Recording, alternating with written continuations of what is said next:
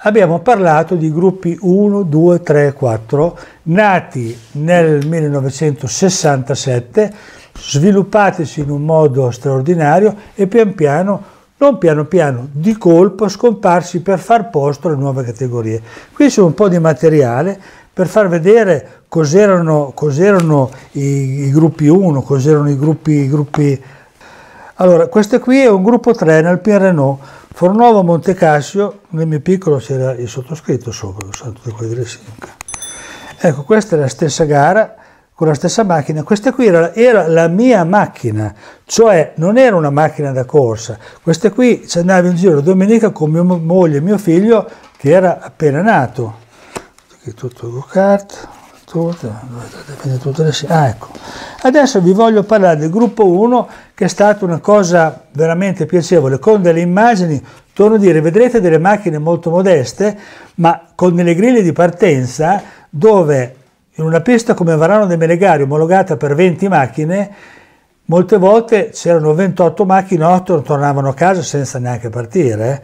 Eh. Ecco, questa è una macchina stranissima, straordinaria, è una Mazda 818. E... adesso Ah, neanche.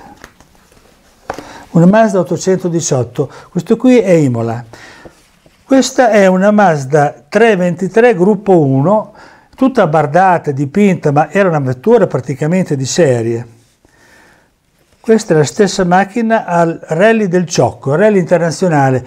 Nel mio piccolo fu l'unica gara, l'unico rally internazionale che ho fatto durava tre giorni, due giorni, una notte, sono arrivato a un punto che non capivo più dove ero, chi ero, cosa facevo, perché abbiamo dormito quattro ore, praticamente in due giorni e una notte, e riuscimmo a finirla la gara andò bene.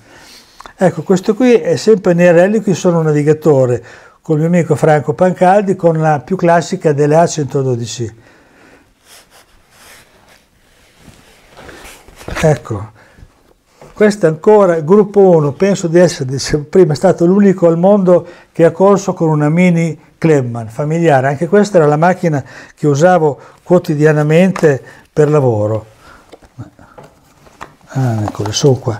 Adesso vi faccio vedere la parte, la parte più divertente, più da soddisfazione della mia modesta carriera. Ecco, questo qua è una partenza, Brano de Melegari, dove sono in testa, in pole position. Io devo dire che godo ogni volta che la guardo perché in mezzo a 20 assatanati partire in testa l'era dura e, via, e arrivare anche in testa. Questa è la soddisfazione dell'arrivo vincente.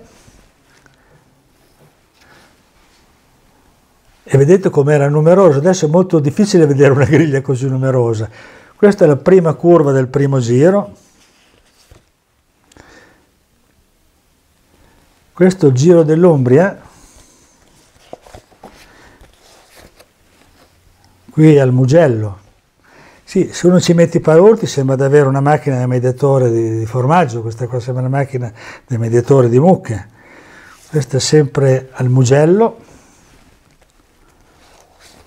Questa macchinina aveva un assetto eccezionale, si vede bene dalla ruota che, interna che si alza, qui a Magione. Ecco, questa è stata un'esperienza incredibile, non con la mia macchina, con un'altra identica, gara di 24 ore, 24 ore del Mugello. Questa è proprio una, una gara fatta con un, la macchina di un ragazzo che la mise a disposizione di, di Prato. Riuscimmo a, a, finire le 24 ore, non so quanti giri abbiamo preso dal primo, perché era l'unico 1003 in gara e è successo di tutto, ci hanno tamponato, preso fuoco, pioveva, si è fermata, però abbiamo caparbiamente concluso la gara. Ecco qui ancora la mia solita macchinetta, qui si vede bene che bellissimo assetto che ha perché a metà curva già ci sono le ruote dritte, quindi vuol dire che la macchina voltava molto bene. Solita gara, ecco, questo è, è un aneddoto, posso raccontarlo Gustavo?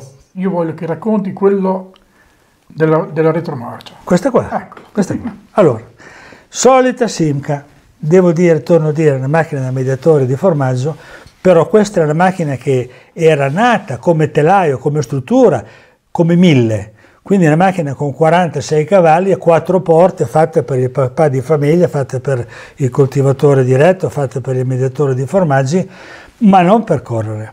Finché ci fu, lo raccontavo prima, un manager della Chrysler, cui fu detto di preparare un qualcosa per il gruppo 1, questo qua, andando a rabattare nel magazzino delle rimanenze dei ricambi della Chrysler, trovò delle parti che erano state fatte dall'Abarth quando qualche anno prima aveva fatto l'Abarth Simca 1150, quindi 1013 cilindrata anziché 1000 come era prima, due carburatori doppio corpo, collettore infusione riscaldato con la circolazione d'acqua, collettore di scarico 4 in 2 4 in 1, eh, radiatore anteriore, infatti qui fu fatta questa feritoia, sedili anatomici, 4 freni a disco e da vedere l'aspetto era sempre quello, ma era una macchinetta che pur non avendo aerodinamica arrivava oltre 180 all'ora, era molto divertente ed era, essendo forse la più economica macchina da scegliere per poter correre dopo le A112 Abarth era molto frequentato. Morale della favola che succedeva, non so se lo sapete, ma per dare l'ordine di partenza vale il tempo di qualificazione.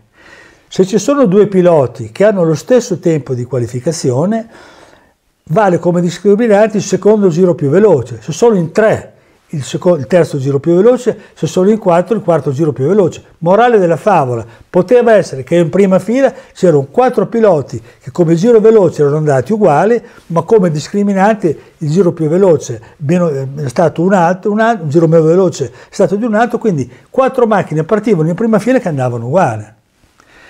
Ti mettevi il coltello in mezzo ai denti, boom, boom, boom, sportellate, alla, dalla prima curva ne usciva uno davanti, altri tre di dietro. Morale della favola, in questa gara, sempre a Brano di Meregari, che era la pista di casa, mi imbatto a fare il miglior tempo, cosa che non mi era mai successa. E c'erano tutti i gruppi di amici, mio fratello, gli amici, così, oh, stavolta vinciamo, dai por, capito? Quindi mi porto lo schieramento di partenza sereno, freddo. Io sono un emotivo di natura, però quando correvo ero abbastanza freddo. Mi metto in pole position, il direttore di gara va su, sullo sgabello, come alza la bandiera a scacchi, in quel momento lì aveva per regolamento 5 secondi di tempo entro i quali doveva dargli via, quindi la poteva alzare e abbassare immediatamente o la poteva alzare e tenere su 3 secondi e dargli via. Io ero andato a vedere, non perché fossi furbo per cercare di capirle tutte, le altre partenze delle altre gare come faceva a dargli via. E allora lì io l'ho visto che faceva, alzava la bandiera, come aveva la bandiera in alto, avevo fatto caso che faceva un piccolo movimento col piede sullo sgabello e come aveva fatto il movimento per prendere più, più posizione abbassava la bandiera, quindi erano tre secondi, dopo tre secondi dava il via. Io prendo la leva del cambio e vi spiego un particolare tecnico. La retromarcia della Simca RL2 è esattamente di fianco alla prima, cioè la prima prendi la leva, per mettere la retromarcia prendi la leva, la, la, la schiacci in fondo, la porti a sinistra, la metti avanti, che è esattamente di fianco alla prima. Per evitare questo problema, io presi la leva del cambio, sempre fatto così, non da sopra, ma da sotto, per, per non rischiare di spingere giù. Quindi presi la leva da sotto e la portai in prima. Cazzo, come spiego, sento la leva che va avanti, porco cane se rotto il cambio. Però questo qui nel frattempo, dati il via, io io ero sicuro che c'era la prima dentro, capito? Mollo la frizione, sento la macchina che parte a marcia indietro. Presi una, aspettavo la tamponata, messo in folle, fatto scendere il motore di giri e poi sono ripartito ultimo. I primi che raggiungevo erano facili da passare, c'erano due secondi al giro, ma man mano che andavo avanti era dura, finché raggiunsi uno con una macchina azzurra col quale avevamo avuto della ruggine, ma lui non aveva mai corso Varano, non conosceva la pista, però gliel'avevo promessa, avevamo della ruggine, quando l'ho visto, dico adesso questo qua, tanto, so che a forza di sorpassare, spingi di qua, spingi di là, io guarda, 79, quarto classificato, spingi di qua, spingi di là, perdi un fanale una volta, un fanale quell'altro, un fanalino quell'altro ancora, uno sportello ammaccato, c'era la macchina è diventata un rudere. Finché arrivo dietro questo signore, quando l'ho visto ho acceso i fanali che non si poteva, ce n'aveva ancora uno di fanali, ho acceso il fanale e questo qui quando così, si è messo fuori la freccia e si è fermato. Lì ho continuato a rimontare finché torno a dire a fine rimonto non va più neanche un fanale, davanti e di dietro. Ed è una storia, un epilogo molto, molto particolare questo qua. Morale della favola, raggiungo i primi due che si stavano, si stavano ehm, danneggiando, perché quello davanti chiudeva le traiettorie, quello di dietro si avvicinava, però facendo le traiettorie più strette la velocità diminuiva finché dico adesso arrivo anch'io. Prima fate un po' quello che vi pare, poi dopo quando vi siete sgasati allora arrivo anch'io perché la mia macchina è più veloce della loro. Morale della favola, ah, dico bene, erano tre giri dalla fine, dico oh adesso partiamo. Come gli arrivo dietro alla curva X, vedo di colpo per terra, giuro non è una bugia, è la verità colata, vedo per terra tutto un luccichio.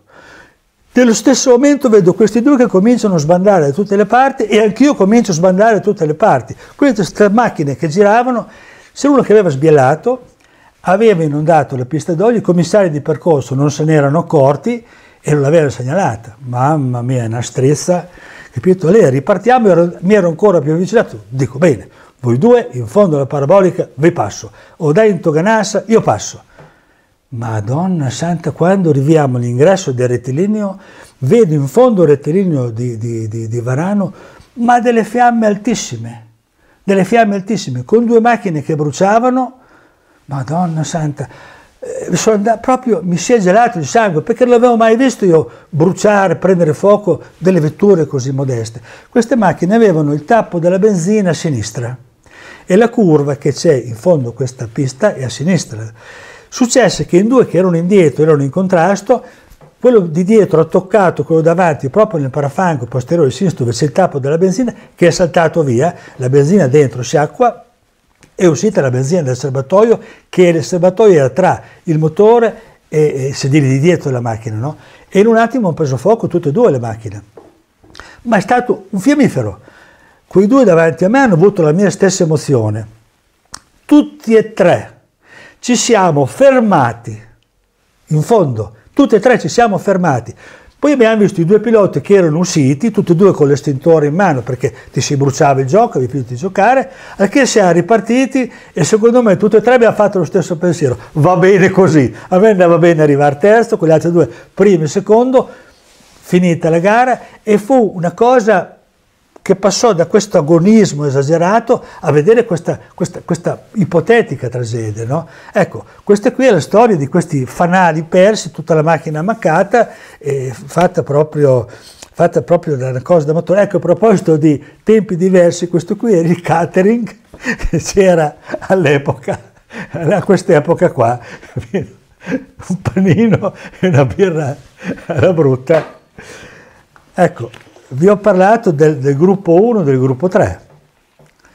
Ecco, non so, qui ho ancora delle altre foto prima di parlare delle auto storiche. A proposito di tutte, queste qui sono le gare in go-kart, queste qui erano tutte che io e mio fratello ci eravamo fatti fare dal Sarto, ecco, perché eh, fatti proprio in due pezzi, giubbetto, giubbetto e pantalone, perché costava molto meno che andare a prendere un'altra, che poi non c'erano, andare a prendere poi una cosa, adesso l'estero, per l'amor di Dio.